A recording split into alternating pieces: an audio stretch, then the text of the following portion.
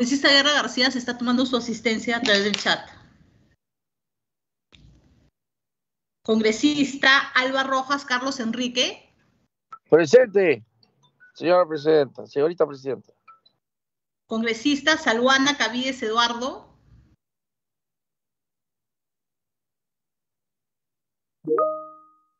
Congresista Salvana se está tomando su asistencia a través del chat. Congresista Amuruz Dulanto Roseli. Presente. Congresista Montoya Manrique Jorge. Segundo llamado. Congresista Paredes González Alex Antonio. Congresista Montoya Manrique Jorge.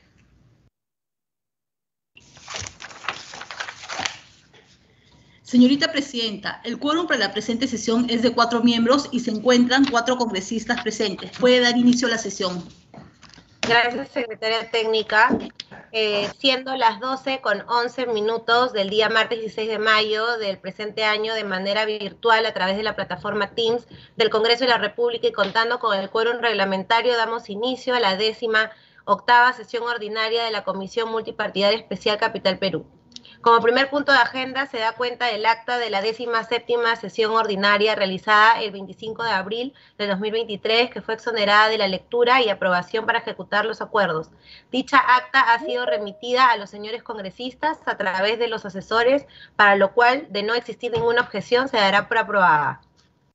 Al no existir ninguna objeción, se da por aprobada el acta de la décima séptima sesión ordinaria. Como segundo punto de agenda tenemos la estación despacho. La presidencia informa los siguientes documentos. Secretaria técnica, si hace dar cuenta, por favor.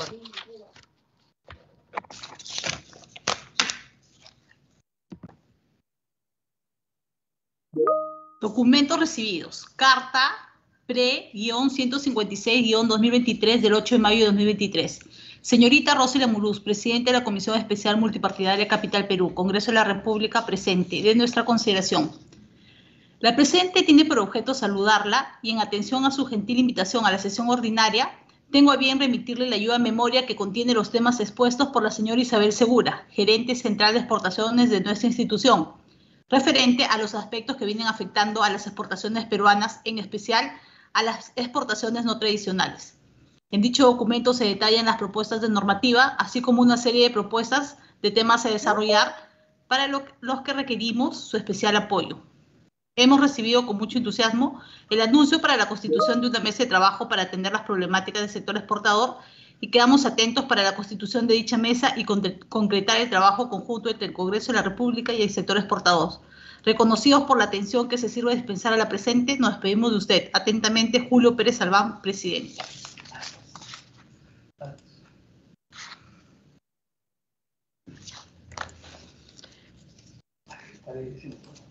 Congresista Muruz, ¿se da cuenta de la asistencia del congresista Alex Paredes a través del chat? Montoya presente, buenos días. Congresista Muruz se da cuenta de la asistencia del congresista Montoya, por lo tanto, hay seis congresistas presentes. Tomado en cuenta, secretaria técnica. Como siguiente punto de agenda, tenemos la estación... falta dar cuenta de dos oficios más. Ah, ok, continúe, por favor. Oficio número 4457-2023-AAPG-CR de fecha 9 de mayo de 2023. Señorita congresista Rosela Muruz Lanto, presidente de la Comisión Especial Multisectorial Capital Perú. Tengo a bien dirigirme a usted para saludarla cordialmente y al mismo tiempo solicitar licencia a la décima séptima sesión ordinaria Capital Perú de hoy, martes 9 de mayo, para dejar constancia de mi voto a favor en la elección del congresista Carlos Salva en el cargo de secretario de la Comisión Especial Capital Perú. Mucho agradece, agradeceré su gentil atención. Atentamente, Alex Antonio Paredes González, congresista de la República. Señora congresista Rosalia Muruzu Lanto, presidente de la Comisión Especial Multipartidaria Capital Perú. Asunto. Comentarios a los proyectos de ley para fortalecer el apoyo de las municipalidades a las MIPES y contratación directa de las ollas comunes y comedores populares en los servicios de alimentación del Estado. De mi especial consideración, por medio del presente proyecto le hago llegar mi cordial saludo y de acuerdo a lo solicitado alcanzo mis comentarios sobre el proyecto de ley. Proyecto de ley para fortalecer el apoyo de las municipalidades a las MIPES. Se sugiere incluir al menos dos artículos referentes a A. Seguimiento y control respecto a la entrega y uso de recursos por parte de las municipalidades. Explorar si es que se debe contemplar la participación del SBS en tanto como sistema de supervisión para las municipalidades. B. Asistencia técnica, esquemas de capacitación para las municipalidades y para las MIPES. Las municipalidades deben previamente ser capacitadas. Lo pueden hacer a través de las cajas municipales o a través de sus programas respecto a las MIPES, también considerar esquemas de asistencia técnica y capacitación. Dos, proyecto de ley que establece la contratación directa de las ollas comunes y comedores populares en los servicios de alimentación que requieran las entidades del Estado. Se sugiere incluir las siguientes modificaciones. Artículo 2, contratación. Las entidades públicas que requieran los servicios de alimentación bajo la modalidad de concesión podrán contratar directamente a las ollas comunes y comedores populares. El reglamento de la presente ley establecerá los requisitos y condiciones en que se enmarcará la contratación de la concesión de los servicios de alimentación a que refiere el párrafo anterior, que incluirá el cumplimiento de las normas del sistema de abastecimiento, normas técnicas del sector salud y otras normas aplicables a los servicios de alimentación. El artículo 3 se debe considerar también capacitación por parte del MINSA, toda vez que se está considerando manipulación de alimentos. Si otro particular, si otro particular y agradeciendo la atención que doy usted. Atentamente, Alex Antonio Paredes González.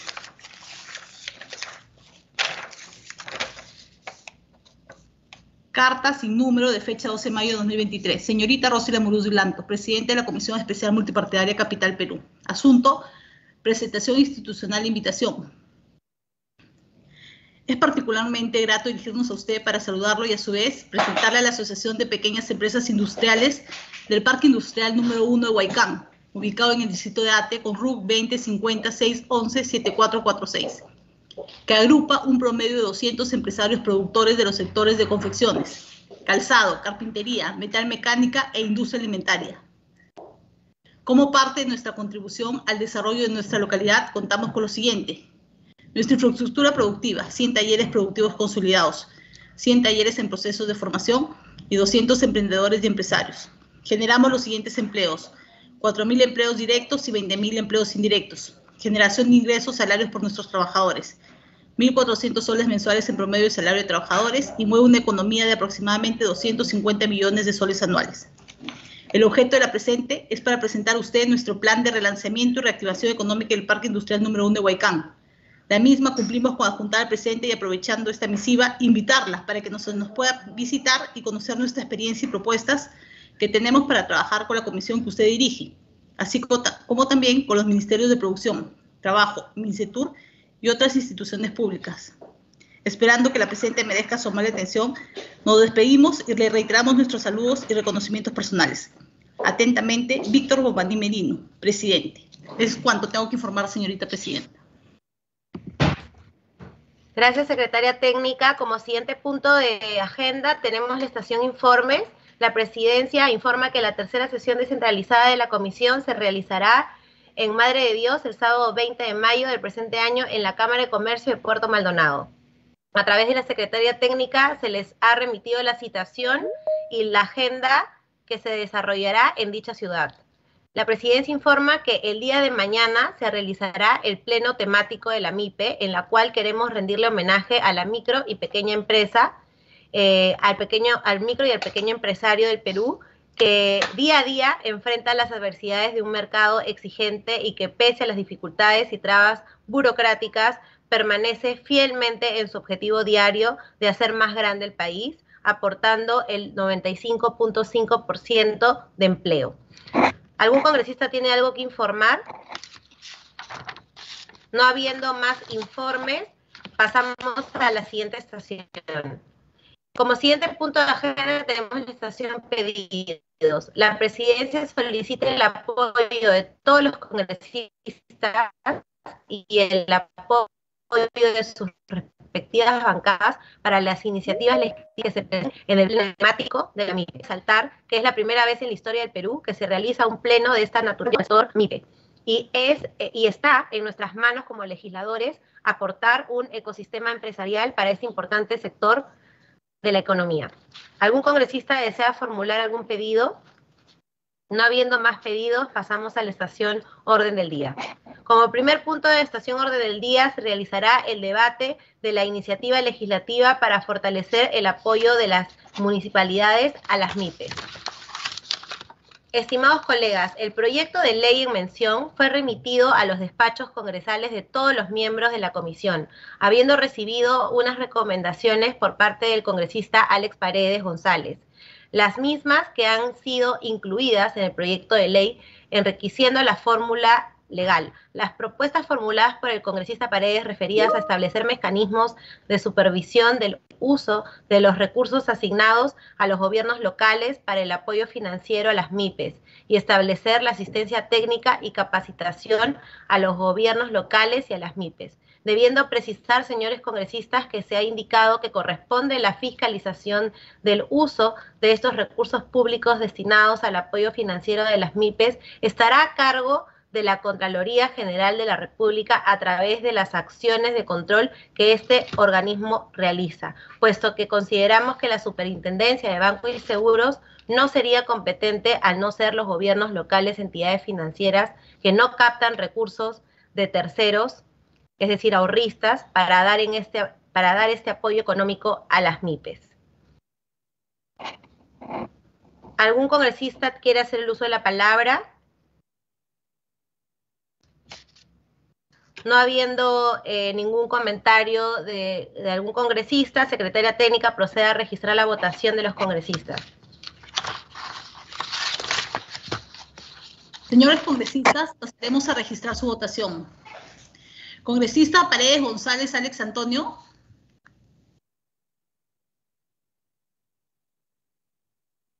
Congresista Guerra García Campos Hernando. Congresista Paredes está tomando su votación a favor a través del chat. Congresista Guerra García Campos Hernando. Congresista Guerra García se está tomando su votación a favor. Congresista Alba Rojas Carlos Enrique. A favor. Gracias, congresista Alba. Congresista Salvana Cavides Eduardo. Congresista Salguana se está tomando su votación a favor a través del chat. Congresista Muruz Dulanto Roseli. A favor.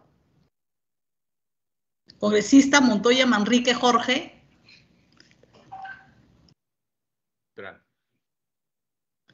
Congresista Montoya, ¿puede repetir su voto, por favor? ¿En qué sentido está? En contra. Ok, congresista.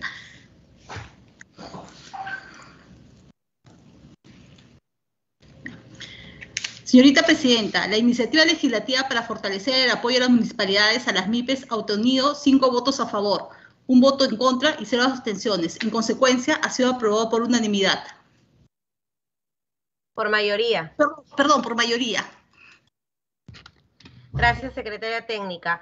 Como segundo punto de estación orden del día, se procederá a debatir la iniciativa legislativa que establece la contratación directa de las ollas comunes y comedores populares en los servicios de alimentación que requieran las entidades del Estado. Estimados congresistas, el proyecto de ley en mención fue remitido a los despachos congresales de todos los miembros de esta comisión, habiendo recibido unas recomendaciones por parte del congresista Alex Paredes González, las mismas que han sido incluidas en el proyecto de ley, enriqueciendo la fórmula legal. Las propuestas formuladas por el congresista Paredes estaban referidas a precisar el contenido del artículo 2 del proyecto de ley e incorporar al Ministerio de Salud en la capacitación técnica a las ollas comunes y comedores populares por tratarse de servicios de alimentación que tienen que ver con la salud de las personas. ¿Algún congresista desea hacer el uso de la palabra? Eh, la palabra, Presidenta. Sí, congresista Montoya, adelante. Sí, este, no hemos podido contestar por escrito las observaciones porque tuvimos un problema acá de, la hora de, recibido, pero quería comentarle que este, de, este proyecto de decreto ley yo lo veo no viable. Eh, la contratación del Estado. congresista o este? Eh, los dos, pero estoy hablando del que se va a votar ahora las, las ollas comunes no es una entidad jurídica. Son personas naturales que con a duras penas pueden prepararlo para sus familias y, y su barrio. No están preparadas para atender este, una concesión estatal, por ejemplo, la del Congreso. Y después no se podría contratar con ellas porque no son personas jurídicas. Y un proveedor de servicios tiene que, tiene que, tiene que entregar hasta, hasta los utensilios que se necesitan para dar el servicio. No, no creo que las ollas comunes puedan hacerlo. Es muy complicado el tema. ¿no? Tendría que preparárseles para, habría que modificar la ley de contrataciones y lo veo bien complicado, Presidenta. Gracias, eh, colega. Em, bueno, nosotros en la sustentación, en la, en, la, en, la, sesión anterior, mencionamos la ley número 31458, ley que reconoce las ollas comunes y garantiza su, su sostenibilidad, financiamiento y trabajo productivo de sus beneficiarios promoviendo su emprendimiento. En ese sentido, a la fecha, eh, las ollas comunes y las, los comedores populares eh, son organizaciones sociales las cuales podrían acceder a, donaciones, podrían acceder a préstamos preferenciales, ¿no? Y podrían tener una pequeña inversión eh, y para que puedan ellas iniciar con un capital mínimo. Más bien, ese proyecto, esa, esa ley más bien que acabo de mencionar ya es ley y no ven estas eh, ollas comunes, comedores populares que, que sean unidades de emprendimiento como lo he establecido en este proyecto de ley. Entonces, esto promovería de que al fin ellas puedan hacer uso de, de, de, esta ley ya aprobada y que ellas puedan también ser eh, una unidad de negocio y en este sentido tener un apoyo del Estado. Sí, Presidenta, esa ley que ha mencionado usted, con la cual tampoco estoy de acuerdo, este, no ayuda a las ollas comunes. Las ollas comunes es una organización voluntaria. No se puede normar sobre una organización voluntaria. Es la, posibilidad de ayuda que tienen en el barrio, en la municipalidad, es una ayuda local la que existe. Esa ley debió ser una ley logística, que le suministre los bienes que necesitan para poder operar sin embargo, no fue así, simplemente hay generalidades, cosas que se le pueden hacer, pero no se le da la herramienta que requieren ellas, que realmente es que el Estado las asista, porque es una situación de extrema pobreza. No tienen capacidad física para hacerlo, ni el lugar, nada, sobreviven. Las que visito normalmente están en esa, en esa situación. O sea, yo lo veo impracticable, por, por, explicarlo de alguna forma, ¿no? De todas maneras, es simplemente una opinión. Sí, por supuesto, y, será tomado en cuenta también. Es por ello que en el, en el proyecto nosotros hemos puesto que no es una obligatoriedad, sino es, es una alternativa ¿no? que puedan tener las, estas organizaciones sociales de base de manera gradual. ¿no? Primero, no se piensa afectar las asignaciones económicas que otorgan las municipalidades para atender con alimentos a los beneficiarios. Existen normas técnicas del MIDIS que regulan la creación, funcionamiento y supervisión de las ollas comunes y comedores populares que garantizan el uso adecuado de, estas subvenciones en dinero o bienes. Es imposible que puedan destinar estos recursos que otorgan los municipios para el servicio de alimentación que brindarían las ollas comunes y comedores populares a las entidades del Estado. Segundo, existe actualmente un marco legal que busca promover las ollas comunes y comedores populares se conviertan en unidades de emprendimiento productivo con el propósito que sean autosostenibles en el tiempo. Tercero, la ley que se propone busca justamente promover los emprendimientos empresariales de estas organizaciones sociales de base a través de una actividad económica en las que ellas eh, tienen experiencia pero de todas maneras, este colega congresista, vamos a tomar en cuenta su opinión. Muchísimas gracias.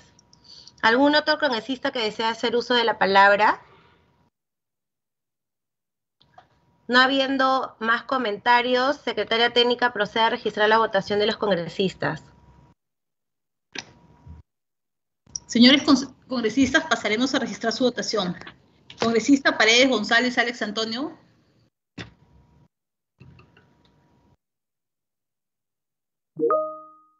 Congresista Paredes está tomando su voto a favor. Congresista Guerra García Campos Hernando.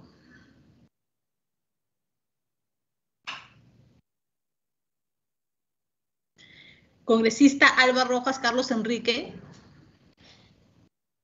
A favor. Congresista Salwana Cabilles Eduardo.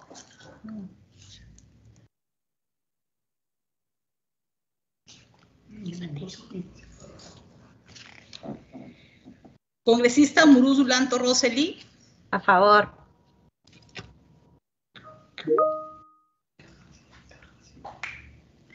Congresista Guerra García se está tomando su voto a favor. Congresista Montoya Manrique Jorge.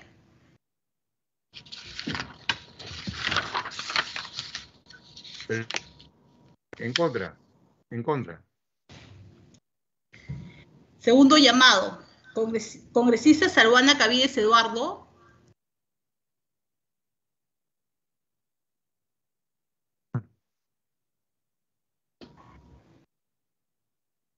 Congresista Salvana, ¿puede, ¿puede repetir su voto, por favor, el sentido de su voto?